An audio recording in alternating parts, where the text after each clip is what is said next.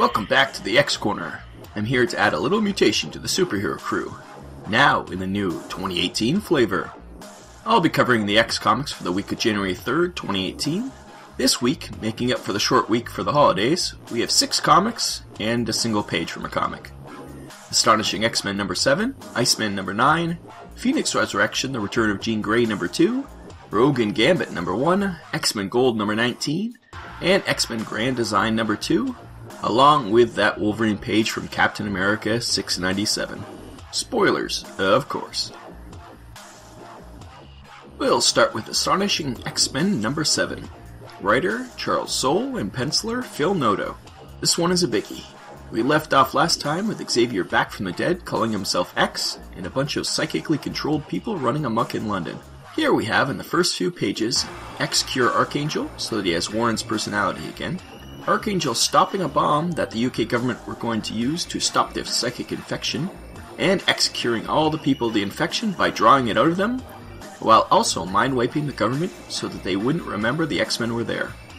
The X Men are understandably skeptical of the resurrected Xavier, and Psylocke goes into the astral plane to talk to the now trapped forever Phantom X. He says he was happy to give up his life out there, which amounted to nothing, to free Xavier. He seems happy to be rebuilding the astral plane after the Shadow King trashed it. Before the X-Men could get to grips with everything, the psychic power X was drawing out of the people coalesces into Proteus, and Bishop is warned by his time-displaced computer of something called the Mind Killer Apocalypse. Crazy stuff. This comic has gone from tertiary series to the X-book. They aren't screwing around here. Phil Noto is one of my favorite artists, and it's nice to see him here do some interiors, and it seems he hasn't done that in a while. His style is so clean and beautiful.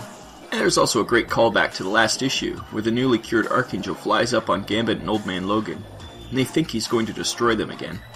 But Warren just tells them to chill out. The writing is good generally, but there is a sense that Phantom X was just written out of the whole story. But I'll reserve my judgment because that might be part of it. Is X good? He seems very creepy. Proteus is from one of my all time favorite X Men arcs, so it's cool to see him back. It should be interesting to see how it all pans out. 9 out of 10. Next we have Iceman number 9. Writer Sina Grace, penciler Robert Gill. In the Apocalypse Seed, Part 1, the X-Men throw a going away party for Iceman, who's moving to LA, and Daken crashes, causing havoc. He has his sidekick Amp release the Apocalypse Seed within him. It's the thing that brought him back to life after Wolverine killed him and he turns all undeady and stabs Bobby's boyfriend through the back, out the front. Iceman doesn't take this well, and they fight. The story starts off with a crowd scene where unfortunately I couldn't tell who was who. Someone was hitting on Bobby, and I only realized it was Richter when he mentioned his name. There were students from the school who were all so generically drawn, I couldn't tell who they were. The fight scenes were fun, but overall this wasn't up to the quality I expect from Iceman. I think Grace should stick to the relationship drama and less with the superheroing. Notice I didn't even mention once the fact that editorial dropped the continuity ball with Daken. Not even once. This comic has been cancelled, so I assume we'll get a quick wrap up of this story. But sadly, I'm glad we aren't getting more like this. Iceman issues 1 to 8 are a good read for a superhero dealing with coming out to his friends and family. It's like this issue was written by a different person. I'll give it only a 5 out of 10, unfortunately. Then we have got Phoenix Resurrection, The Return of Jean Grey, number 2, for a second week in a row. Damn you weekly books. The writer is Matthew Rosenberg, and the penciler is Carlos Pacheco. This story continues with following the waitress Jean, who is having nightmares of dying on the moon and keeps meeting people she thinks she knows. She even has a patron in her diner named Eric, who can bend spoons with his mind. Meanwhile, the X-Men are at a loss. Most of their psychics are missing thanks to the events over in the Jean Grey comic, so they have to resort to using Cable to try and track the Phoenix with Cerebro. This doesn't go well and Cable is zapped too. They decide to split into teams to go where the Phoenix might show up. Old Man Logan sums it up best when he says nobody said Jean was back, but there sure as hell is a giant flaming bird running around. Most of the teams find nothing, but Iceman's team finds Magneto, but he's wearing his old costume. A fight ensues, and halfway through he orders a coffee from Jean. He's in two places at once.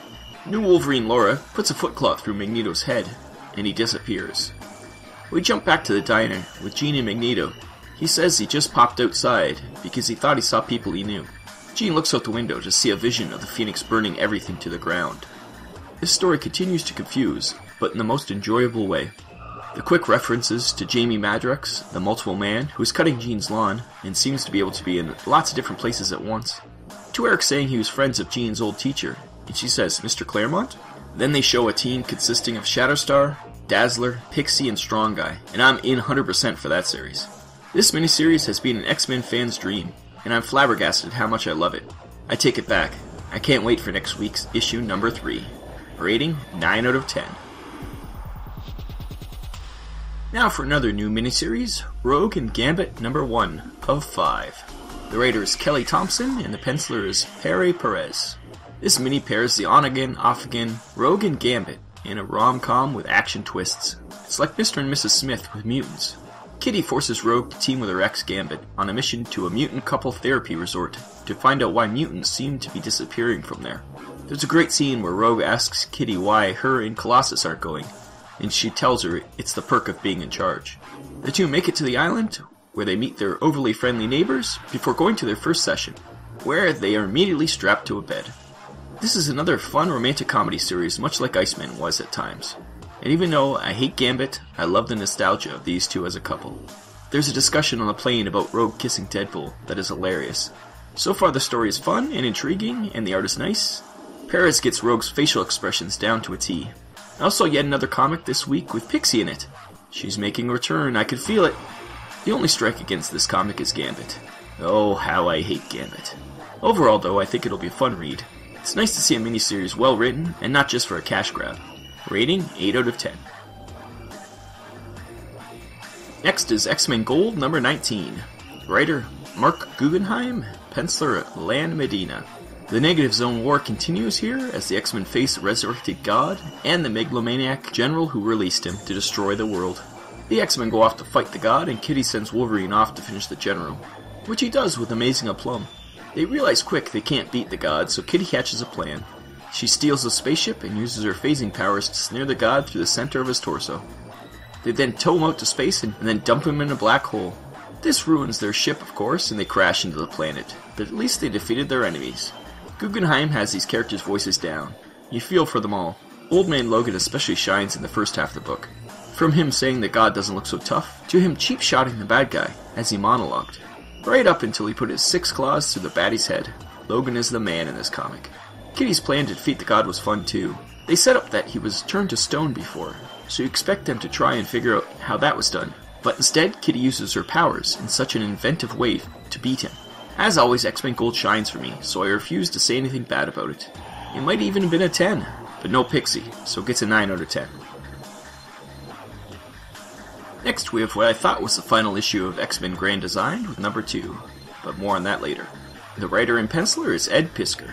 This book follows the X-Men through their actual comic up until the series went to reruns before being cancelled and brought back for the all-new, all-different X-Men.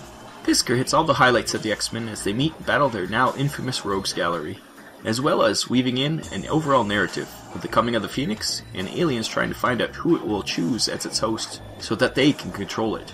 Also, Magneto has his fingers in quite a few pies, including sending Namor off to cause trouble for the Fantastic Four.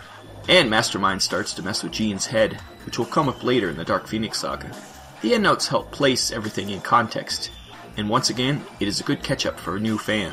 This issue, however, I had less for long term fans who already know the early X Men stories. There's a little addition, but it keeps mostly to the history, and thus I didn't get much out of it, as I would have liked to. The end page does promise the continuation in late 2018 of the Grand Design into the second team, so I can't wait to see how he handles that.